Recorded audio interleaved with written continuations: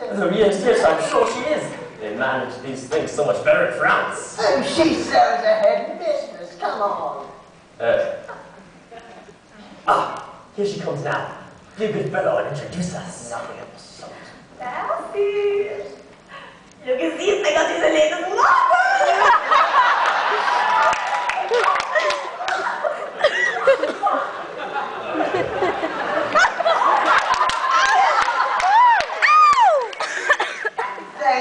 Thank you, but I think I'll be going back to my room. But why are you leaving so soon? I just got you some perfect costume. Come on, Rucha, do what she says. No, no, I, I've had enough of this. I'm leaving. But why, Percy? What have I done? I say, old Jack, you're upsetting her. You know that is no way to treat a head mistress. Uh, will you please go away? Why, Percy, are you not at least going to introduce Maybe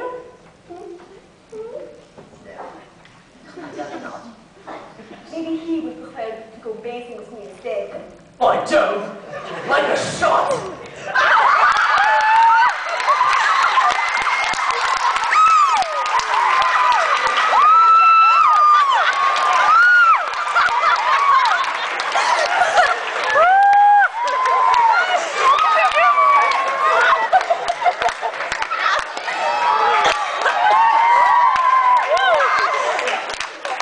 This on.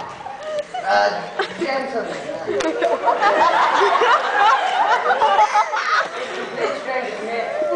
never set eyes on him this is. We afford to dispense our. Hmm.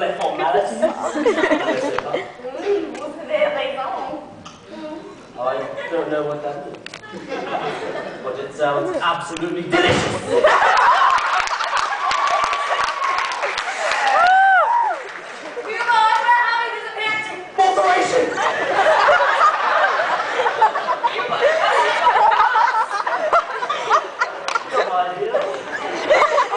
That's misleading, gentlemen. Remember, remember.